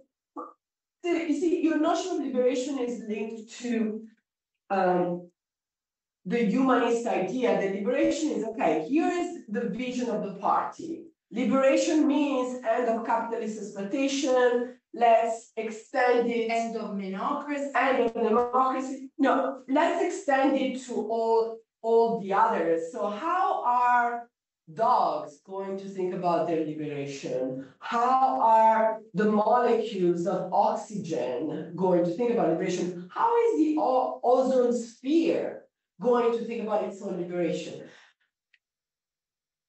It implies vision, but by vision you mean a form of propositional thinking, which is a very obviously an anthropomorphic projection. Exactly right. I mean, maybe we don't need that. You know, maybe we don't need to think that um, animals need to have uh, uh, those anthropomorphic um, types of vision, although we do know that animals can imagine, right? We do know that uh, cetacean have a capacity to imagine, and it's quite complex, not in the sense of forming images, but also in the sense of creativity and uh, even that, wait, another part of the point is to undo this category of animal because it's uh, it groups so many different things. I mean, uh, cetaceans or apes are so different from uh, uh, simple types of animal that even just the category, I think it does more, it creates more problem uh, than solving them. But for me, the overall point is that we just cannot separate them because uh, if we don't think of human relation in connection with the liberation of the whole planet, we may just not be there in a, a few centuries from now to even do this thing they seem to like, think. See what I mean? But thank you for indulging me. Sorry, Tanya, I we have a lot to talk about, clearly. I I had a different question, but I will do a follow-up on this. Okay. So if I take the, I understand that our liberation depends on, you know, the planet and. And all these things, but I don't see like how the planet Earth depends on us. They will, the Earth will be completely fine if we extinct now. It would be better. It would be exactly. So. So how does that square with what you, you're suggesting? Right, well, it depends on another in the sense that it, um. First of all, it's, I'm critical of the idea of Anthropocene, I mean, I, I think we should call it the Capitalocene. But capitalism uh is hurting the environment now. And it's actually in our power to stop. At least some of the harm now. So in my view, yeah, fine, and if we go ex- extinct, if if we had never come into being, maybe for the earth it would even be better. But we are here now where we have the choice between doing nothing. Between continuing uh fracking and uh um uh, just production of uh um carbon dioxide and air pollutants. Or stop that, right? We can choose between just uh promoting a mode of production that is aimed at the increase of profit and capital at the expense of everything else. Or we can say, well, maybe this capitalist mode of production is actually not even benefiting the species, it's just benefiting the few capitalists who are, those who are gonna be able to have a safe landing at least in the uh, short term, right? And we can just change that. I mean, capitalism is not inevitable. I mean, there are choices to be made, and I mean, states are actually, although a, place to begin with, uh, for choices that can be made now. Yeah, but that's, that's completely fine, like, the question is like, but you're doing it for selfish reasons, that's the thing. You know, like, if you're just gonna change the system and everything, that will be done again for Okay, reasons, so- because the earth will be completely fine. Here- here- Right? So like, yeah. again, we are just like for No, that anthropomorphic. No, that's the whole point of uh, um reconceptualizing reconceptualizing ethics in a, for me, at least in a Spinozist framework. It's just that there's no difference between egoism and altruism. I mean, uh, you take care of the other, including the other, uh, the human, and not because for altruistic reason or for egoistic um reason, but because there's no distinction between egoism and altruism, like if literally the other than human lives in my body, in my guts, in my stomach, then when I'm taking care of uh, uh, the plants that I eat, it's not that I'm doing it because I love basil. I love basil, but or I don't want to pollute the salad that I eat. It's because you can't separate the others from me. So the very distinction between altruism and egoism collapses. And actually, most of Spinoza's scholarship describes Spinoza's ethics as a form of altruistic egoism or egoistic altruism, meaning that you can't separate them. I have Sean, Sadie, and I'll be John Lewis. Hi, this is very interesting. Thank you for, thank you for the talk. Um, so, so at the beginning, you mentioned how today there's been a rise of authoritarianism. And it seems to me part of what's at stake in this distinction between patriarchy and menocracy is, is exactly the sort of like unevenness of, you know, gender-based liberation and so on and so forth. Um, but of course, like people on the far right tend to focus very much on how they're losing something by certain forms of liberation that are occurring uh for men, trans people, et cetera, et cetera. And so I just wondered if this was like more of a historical question in a certain way, I mean, you mentioned fourteen ninety-two and anxiety, this made me think of, uh, like, uh, Neumann has this, uh, article called Fear, or, I'm sorry, no. Yeah, uh, Fear in Politics, or Anxiety in Politics. Um, where, like, one of the things that he writes is how, um. Authoritarianism is often a function of certain anxieties that get produced, um, in societies. So, yeah, I was just curious if, if this is something, because it wasn't clear to me, that it wasn't clear to me whether or not you're, you're making an implication out of, um, the rise of certain forms of liberation with this sort of, um, you know, reactive politics or reactionary politics. Yeah. Um, yeah. Thank you so much for the question. I mean, the short answer is yes. Um, I mean, it, it is this anxiety that is generated by the loss of privilege right? and the question and what is this gonna look like? Um, actually, um, Eva von Redecker has a very interesting analysis of uh, um, the global rise of uh, neo-authoritarianism and what she calls the missing link syndrome. Like because uh, men are experiencing uh, globally that a part of their privilege has gone missing. So they, there is this anxiety and this overreaction. That's why I speak psychologically speaking about a, reactive formation, because you know it's like not just patriarchs, but like Trump, you know, grabbed by the pussy. Um, not just uh, um, male, the continuation of male privilege, but caricature of macho politics in Italy, Salvini, right? Um, so yes, the answer. I had forgotten that article by Neumann, uh, so I gotta go back and read it. So thank you for for the um, uh, reading suggestion. I have to go back to.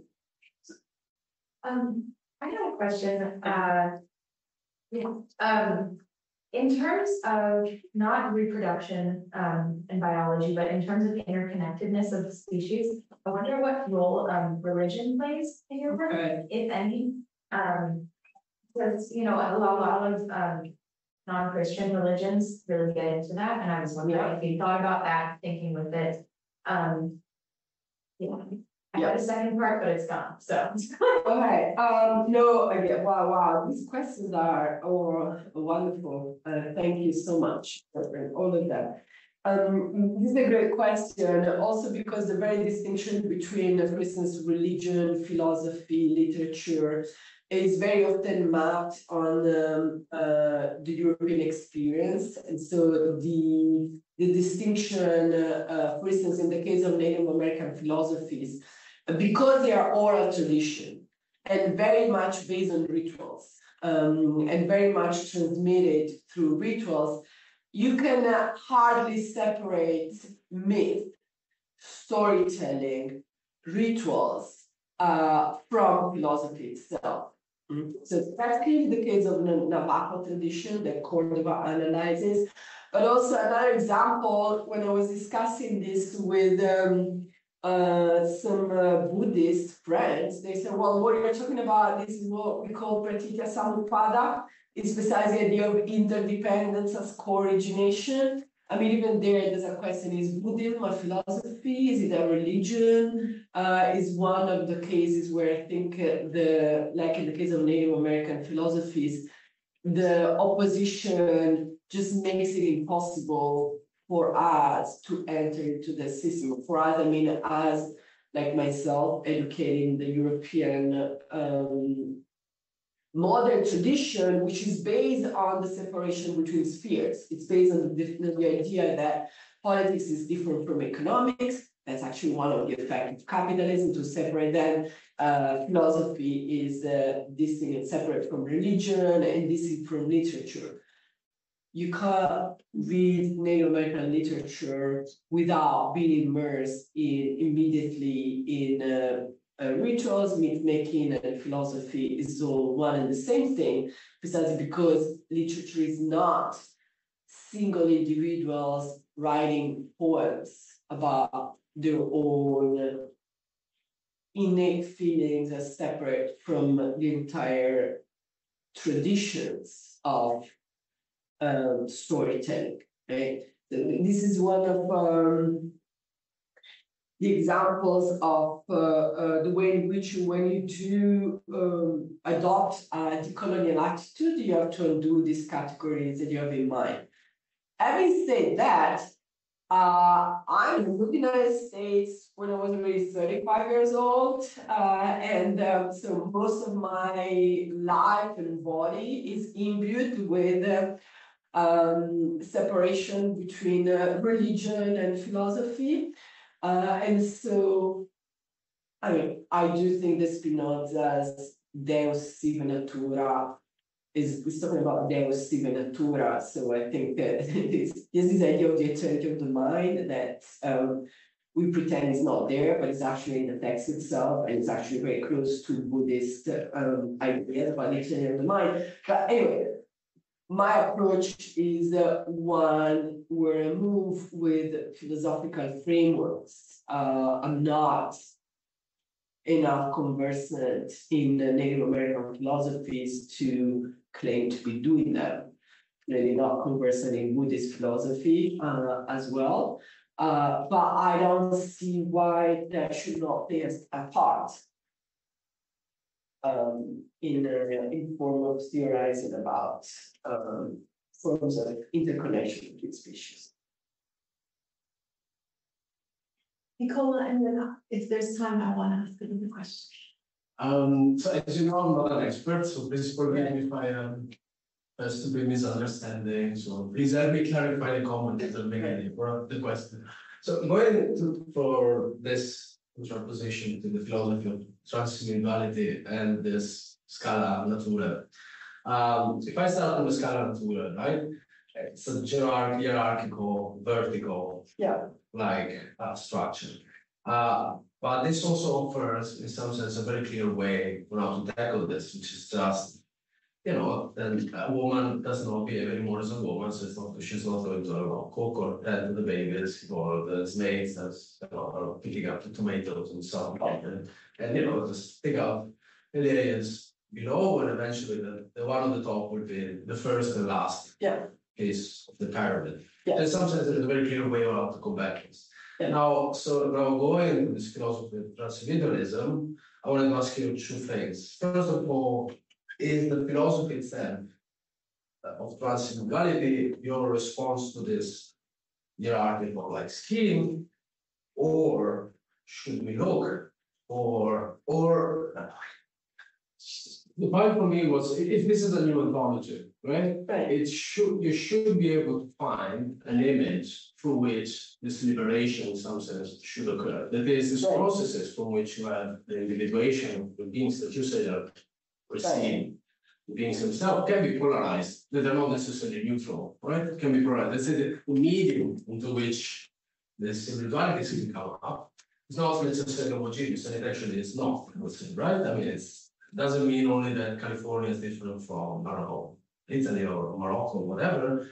Uh, but what I'm really asking is, in this new philosophy of transindividuality, what would be, in some sense, the utopia that you look for? Because I would imagine that it's not a homogeneous medium, Right. but rather a balance between different potential wealths. That is, you know, if you have an excess, if we have nowadays an excess of uh, say male uh, um, individualities that come up, but male in the sense of like the carry on the privilege, uh, should we look for to just uh, let's say kill this potential that creates this, or rather, you know, make it small enough and balance it with something else. In the sense that, you know, if you want to take an ecological example, you do need fi- fires are can be completely destructive, but also play a role in ecological system because they actually, you know, it's part of the process. So in some sense, you know,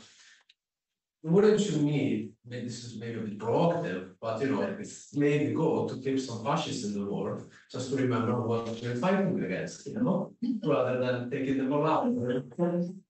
Well, it was, I, I'd rather do without the fascists, like, there were a lot of You know, that Trump was actually good so that we would know what the left to get more radical.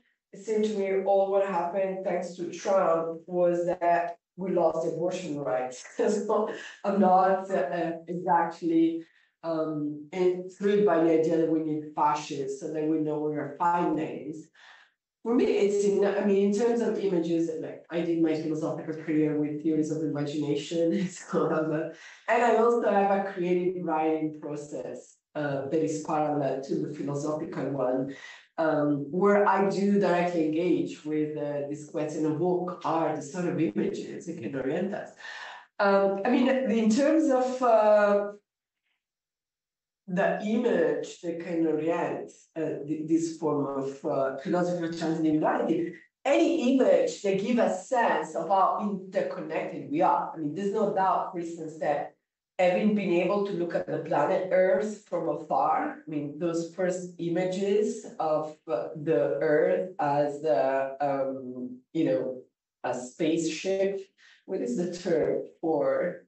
And there's a specific name for this image of uh, the Earth as um that was first taken uh, um in I think sixties of the planet Earth as this uh you know One earth. yeah, the, you know, just the planet, just the fact that at some point humans were able to take a picture of the planet and perceived it as just one planet within uh, um, the universe, right? As just one single thing, I think it's done. It had a huge impact on the birth of ecological movement in the seventies um, worldwide, right? And clearly, not by chance, in the last few years, uh, the slogan "There's no planet B" uh, has been uh, a rally cry for different forms of ecological movement uh, across the planet. With uh, in, in the last 10 years, I think it's not by chance that we're assisted to the first uh, general climate strike, uh, literally happening in a really different moments, but uh, across the globe. Um, so for me, we do need images are super important, like a politics of imagination person uh, and philosopher. Um, the image of the planet uh, from afar is one image to give you a sense of this uh, unity. Now, what the philosophy of transindividuality implies, and particularly in its Spinoz's version, is a form of ecocentric egalitarianism. I mean, is the idea that there's no ontological hierarchy. Now, this doesn't mean that I am not different from this ball. It just means to assume that there's no ontological hierarchies uh, between us. Um, in the sense that is speaking, every being is a mode of the infinite unique substance right?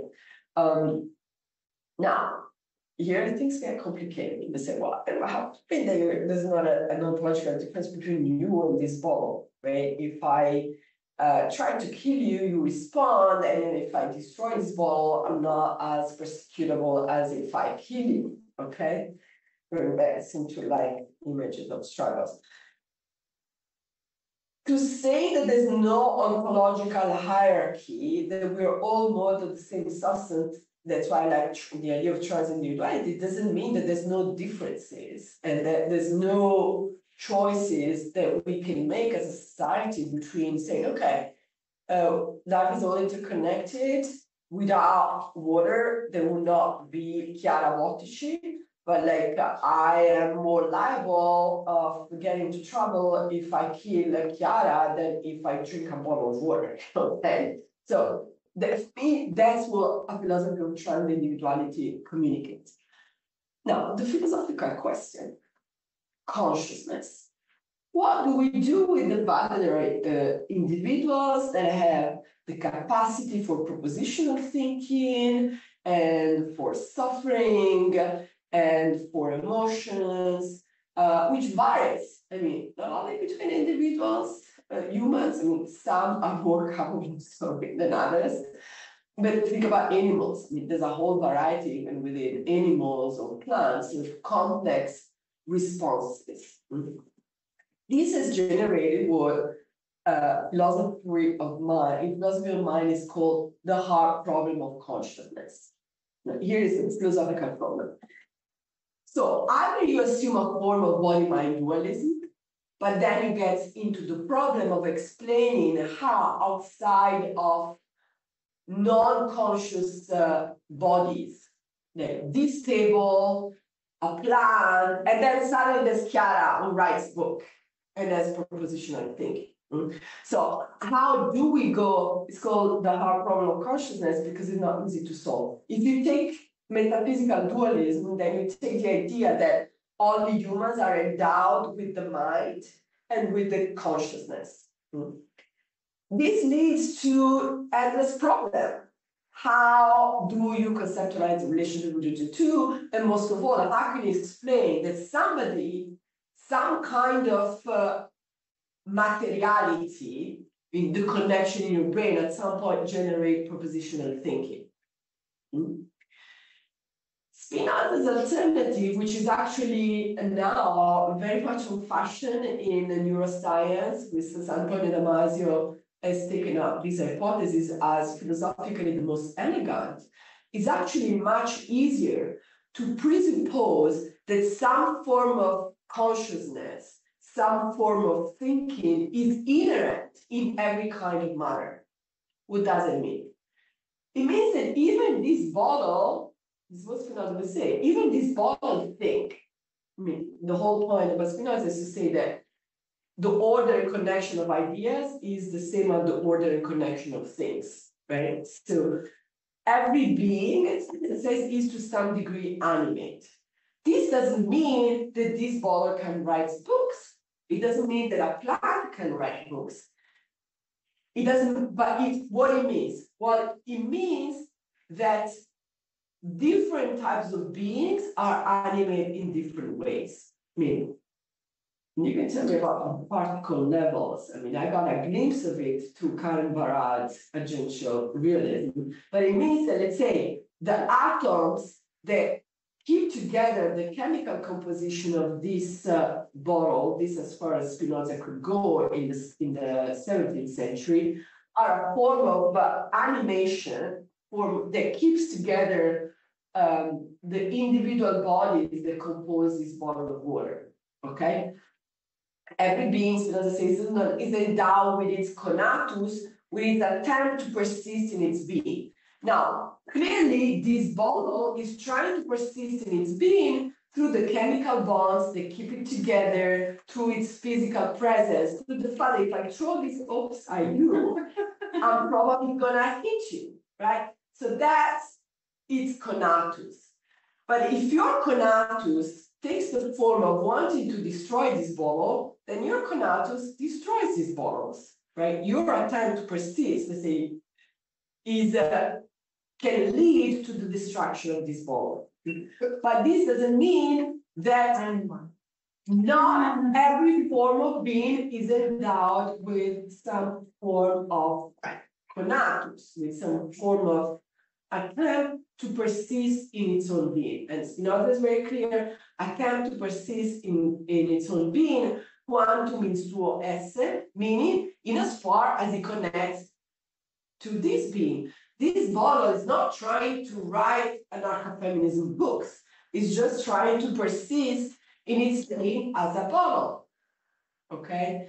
Uh, but what are the advantages of thinking that this bottle is to a certain degree animate? Which again is not a form of animism. It doesn't mean that this bottle is gonna speak at night, okay? Spinoza is very critical of animism and spiritism and that kind of thing. It means that, philosophically speaking, it's a much more elegant solution uh, than assuming that consciousness suddenly appears only in certain type of materiality. There's no explanation in neuroscience of how you can get conscious thinking out of non-conscious matter. That's the hard problem of consciousness. So Spinoza's philosophical framework actually help us to solve that philosophical issue. I know how is thinking silent because it's much easier to presuppose that some form of thinking is present in every materiality and then it can get more and more complex as the materiality becomes more and more complex uh, in itself.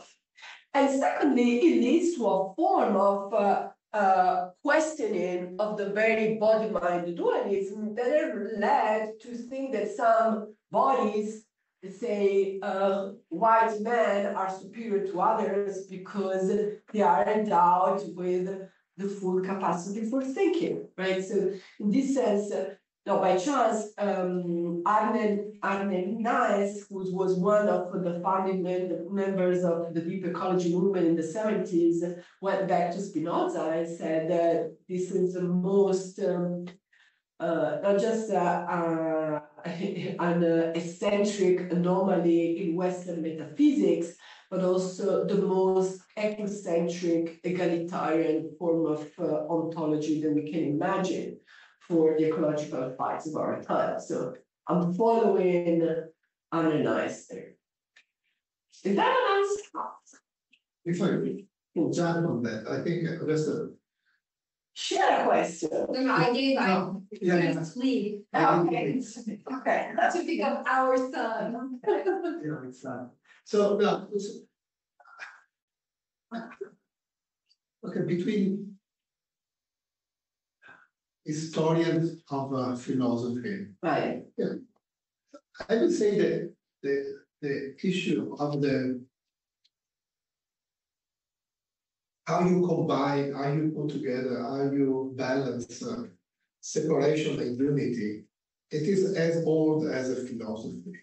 So Plato has the same problem with the Parmenides and Sophists and so on. So, and, and basically the, entire history of the philosophy, or at least the, the entire history of Western philosophy, is a, is a gigantic attempt to work with this uh, tension, separation and unity. And separation, separation gives us something that is uh, pretty good, you know. So for that reason, I can, you know, when, when I say, oh, separation of uh, of the between spheres is bad. No, separation gave us something really powerful and good. It's the result of the power power of thinking, but it, gave us the possibility to get rid of uh, hierarchies, get rid of uh, inequalities. So separation gives us gave us the possibility to abstract a kind of a universal ego that is uh, equal, abstract, universal, and so on, from Descartes to Kant. Now, it's a kind of a, it's almost fashionable to speak on Descartes and Kant, but uh, they gave us that it's uh, kind of uh, important, you know, if, if, uh, we, if we can think and talk about uh, uh, equality and uh, in a non-hierarchical world, it's, uh, they, they, they did something for us. But at the same time, this is the question, at the same time, they are doing what you want to do. I agree with you that Spinoza is, so Michael Spinoza is one of them. Yeah. But all of them, all the entire history of philosophy is this gigantic attempt to work out the, the, the, the, the, the connection between unity and separation. And basically, in different ways, is a way to create a connection. But connections are, are another result of this power of thinking. So we can create the connections because uh, we think abstractly, because we can separate, and, we, and then we can reconnect to what our thinking can separate. So what is my polemical point is that uh, this is a way to go. Another way to go is when I attribute to nature, world, the universe, some qualities. And then I, this is what I will call metaphysics. What you know, I don't, I don't, I don't know what nature is. Is unity or plurality? Is a is a brutal system of a, of a killing, or is a harmonious and full of love? I don't know. I have no idea. So But my, my point is that why today, Well, It's it's not not because you're a part of nature, that would be my easy answer, but anyway, okay, then. yeah, because I can make myself as a connect to nature, I can, but it's a, No, it's a, then, then this, okay, right. Yes, I- but the point.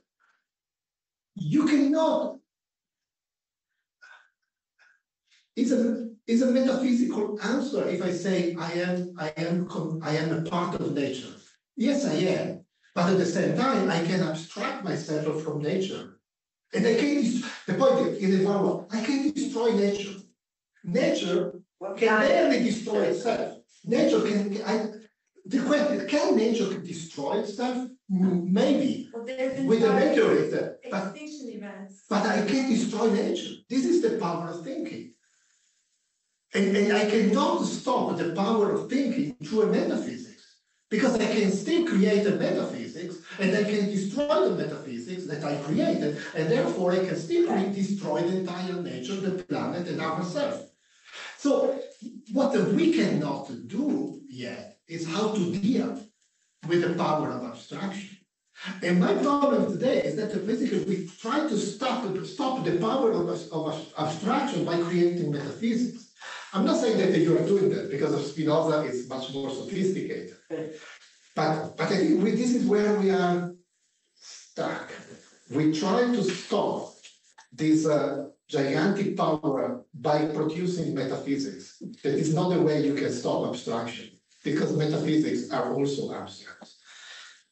I had to become my song. That is Okay, very well, that's, uh, But I want to, that's a piece of. Okay, so I just respond very briefly. First of all, you may like abstraction more than I do. I see abstraction as the mode of functioning of capital. I mean, that's, you know, come from Frankfurt School originally, so for me, uh, capital and modernity precisely works by abstraction, that is by subsuming every life form into quantifiable profits, um, abstractive numbers. So I'm not so sure that abstraction is always a good thing.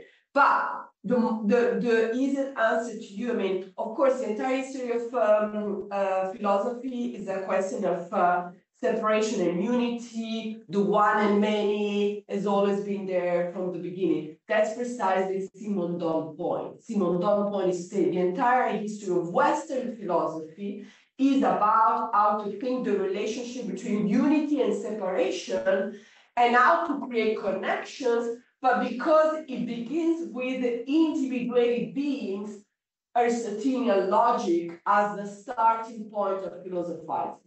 The whole point of Simon Simondon um, philosophy of transindividuality is to say we should move away from that Western um, modes of philosophizing, how to conceptualize the relation between one and many, unity and separation, to one that takes not individuated being, but the process of ontogenesis itself as the starting point of philosophizing. Okay, so that's the, I think, the easiest answer. Kant was my first philosophical law. Maybe you are never, you never forget your first law.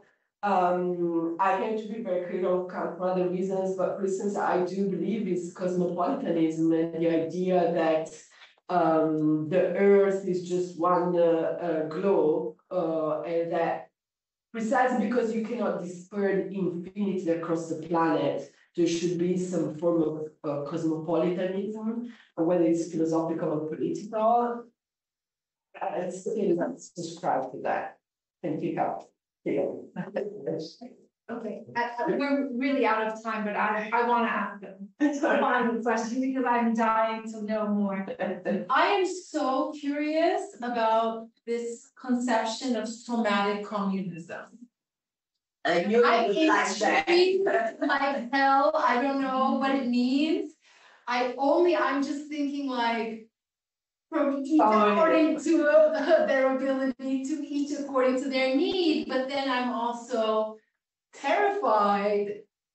About what that might mean politically, considering that you're locating this in the body. So, like, what does that mean? I mean, beyond the fact that we're interconnected, yes, but communism has a vision of to each according to need, from each according to ability, like how does that work? Right. In terms of bodies, Right, so I take the term from Paul Preciado, uh, who argues um, uh, it's a critique of the way in which communist uh, and socialist thinking is being centered on the idea of, uh, you know, the image of the factory and the idea of uh, the wage uh, earner as the center for thinking about the possibility of revolution. Okay, so the questioning of that image to the idea of, you know, the agent of uh, today potentially revolutionary movement are not necessarily the the, the factory uh, workers, uh, as, as it has been the case, but are different uh, bodies that are situated um, across the globe and in, in the spectrum of uh, uh, not just uh,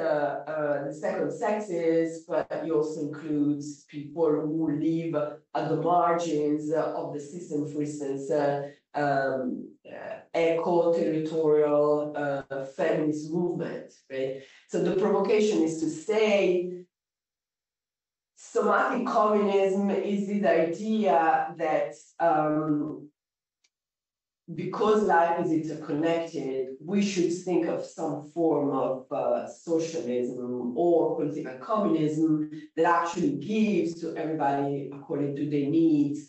Um, so there is, a, in, in that sense, believe, for instance, a, a clear connection between uh, uh, what Michelle is saying and what Kropotkin argues with the idea of mutualism and uh, mutual aid. But the point is, somatic communism doesn't mean political communism automatically, obviously. So uh, it's a vision.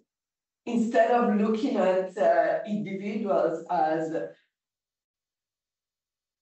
given entities separated from one another, you look at individualities as form of processes of becoming. And then how do we become together and how do we come to decide about what we want to share in that process of. Uh, so that's what, let's say, somatic communism gives you a vision.